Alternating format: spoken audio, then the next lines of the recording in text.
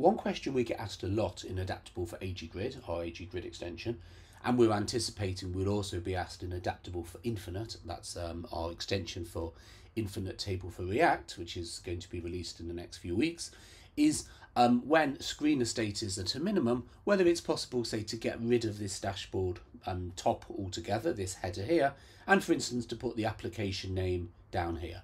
Can you do that?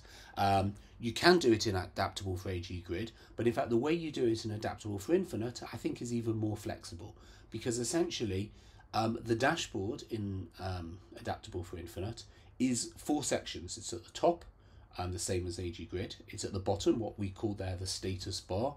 It's now available down the left hand side and down the right, what we used to call tool panels. So for instance, let's say we want to get rid of this top bar here and put all of the items in the other locations, we can do that very easily. So we go into UI settings and first of all, we'll get rid of everything from the top. And now you can see that that's gone. And then on the left hand side, we've currently got the theme. So why don't we, for instance, also add styled cell? On the right hand side, we've got some tabs. Let's remove that. But instead, let's put, um, I don't know, let's put a button, say for the settings panel and a button to open the dashboard. And then at the bottom, we've currently got these total rows. And you can see that in each of these four sections, top, bottom, left and right, you can put any widget into any of three sections. Currently, we've got row count here, but let's, for instance, also um, add the quick search to that. And then let's um, put our view selector in the center. So that's now appearing here. And finally, as per the title of this video, let's put the application name here now at the bottom.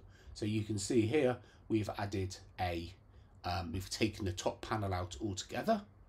On the bottom, we've added all these widgets, as you can see. On the left, we've got a couple of buttons, and on the right. And obviously you can move things from section to section, so I can put the dashboard here at the end, and now it appears down here.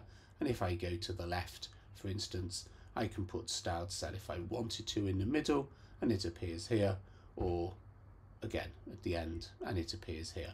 There's a whole lot more we can discuss around the dashboard because we've also got the ability to add tabs and toolbars but that's really the subject for another video. But for the moment, we just wanted to show how you have four sections, top, bottom, left and right, and in each of them, you can put whatever widgets and um, buttons and items you want, including, of course, custom um, buttons and toolbars and tabs that you provide.